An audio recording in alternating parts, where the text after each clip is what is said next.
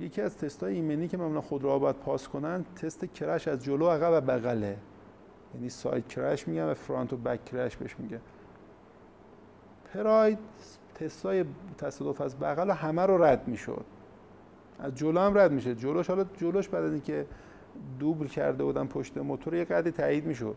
یعنی قبل تصادف های قبلی موتور میاد وارد اتاق می‌شد تصادف سنگی. بعد دیگه نمی‌شد. موتور یه جوری کار کردن که موتور می‌رفت زیر بدنه. موتور تست های crash از بغلش همیشه رد می‌شد. یعنی یکی از بغل تصادف سنگین بود حتما باعث فوت و یا از بین رفتن سرنشینا می‌شد. یه پروژه تعریف کردیم تقریبا 60 70 میلیارد تومان همون ما خرج کردیم به نام پروژه ایکس پراید تقریبا 300 کیلوگرم سنگین شد.